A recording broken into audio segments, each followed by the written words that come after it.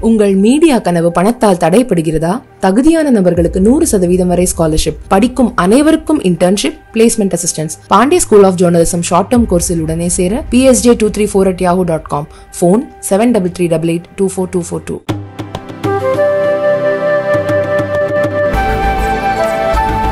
ஐநா பொது சபையில் பயங்கரவாத எதிர்ப்பு தொடர்பான உயர்மட்ட மாநாட்டில் மும்பை பயங்கரவாத தாக்குதலில் குற்றம் சாட்டப்பட்ட லக்ஷர் இ தொய்பா பயங்கரவாதி சஜித் மீரை உலகளாவிய பயங்கரவாதியாக அறிவிக்க இந்தியாவும் அமெரிக்காவும் இரண்டாவது முறையாக முன்மொழிந்தன.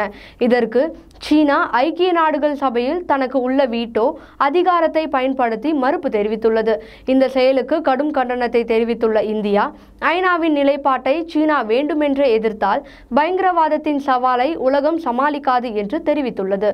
முன்னதாக இந்தியாவால் தீவிரமாக தேடப்படும் பயங்கரவாதிகளில் ஒருவரான சஜித் மீர் இரண்டாயிரத்தி எட்டாம் ஆண்டு மும்பையில் நடந்த பயங்கரவாத தாக்குதலில் ஈடுபட்டதற்காக தேடப்பட்டு வந்தார். பாகிஸ்தானை தளமாக கொண்ட லக்ஷர் இ தொய்பா பயங்கரவாத அமைப்புக்கு இவர் மூளையாக செயல்பட்டு வந்ததாக இவர் மீது குற்றம் சாட்டப்படுகிறது.